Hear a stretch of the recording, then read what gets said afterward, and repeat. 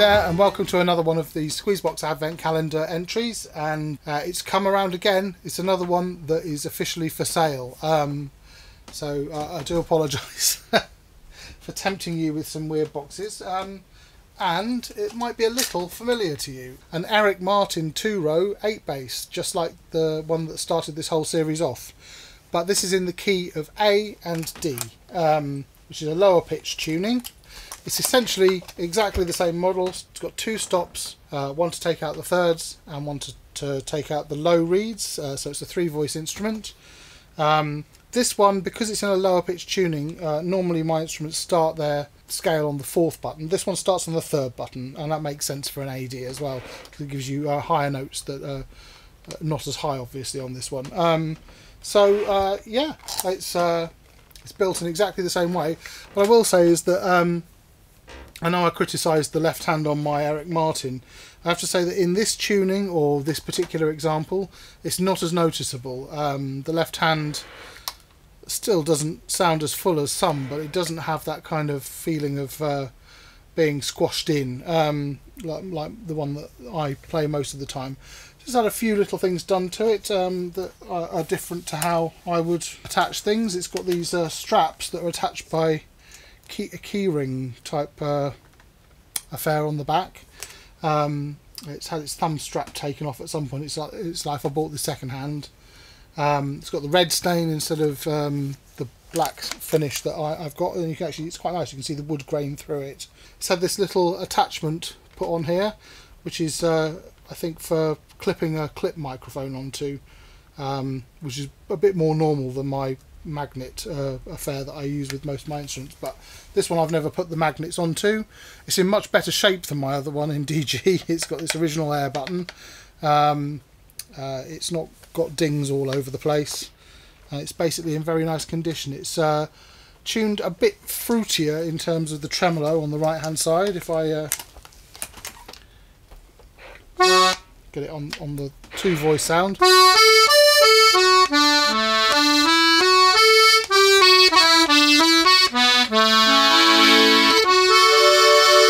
Um, so yeah, that's the, uh, the, the general sound, and with the third voice in as well. Um, so yeah, let's go straight into that and have a look inside it. Um, uh, I don't think we'll glean much extra information from it uh, than we did with my original Eric Martin, but we might see if there's any difference on the reed blocks in the left hand side, and then we'll play a tune. All right. Okay, so here we are with the red AD Eric Martin um, and we're going to have a quick look inside and see how everything is. Um, so just as with the other Eric Martin, it's a one row style construction in that uh, it has two screws going through. Uh, this is different to my other one in that they're flathead screws, not crosshead ones. I imagine they come off just the same. Okay, so we take off the bellow straps, we should be in.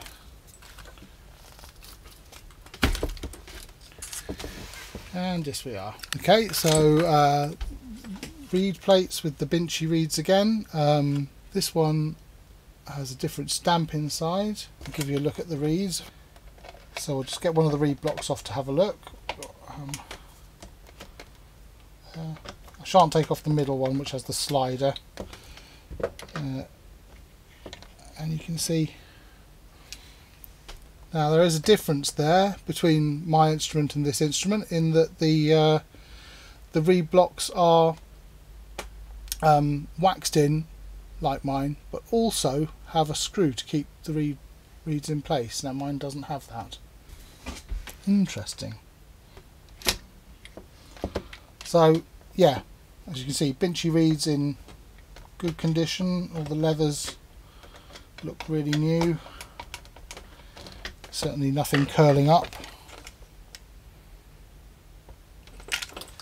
So let's have a look inside the left hand.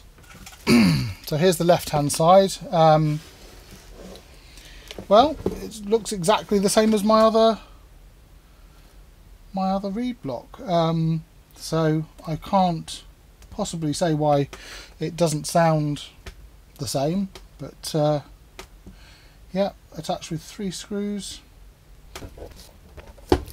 So there you have it. Eric Martin, there's a few little differences in terms of the screw types and how uh, the reeds are attached to the blocks. Again, we've got screws holding the heaviest reeds on here on the bases as well. And as they're hanging upside down, um, it makes sense really. So we'll put him back together again. And uh,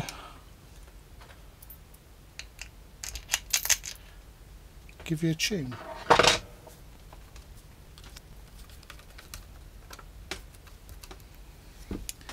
And there we go. We're all back together again. Um, if I hold it up close, you can see that it's a stain rather than a paint. So you can see the wood grain through the stain. So we'll get on and uh, play a tune on it for you. So, um, yes, uh, this can be yours. Um, it's one of the ones that's been sitting on my shelf. I don't really use AD uh, as a tuning, um, and uh, yes, I'm asking for 1100 quid for it. Um, that's with a gig bag rather than a hard case, um, and the straps that I'm wearing now come with it. So yeah, um, that's about half the price that it would be if you ordered a new one from Eric Martin. Um, well, I suppose I better show you what it does. Um, I'll point out that the tuning on the right hand, I mean, you may have heard that in the first section, the tuning on the right hand isn't 100%. The tremolo could do with a little bit of touching up. Um, but for a second-hand instrument, it's in pretty good nick, and I, I think if it was my main playing instrument for gigging, I'd be thinking about getting it tuned. So I'll give you a little tune on it, uh, see what it does. So this is Staines Morris, and it'll be in B minor because this is an AD box.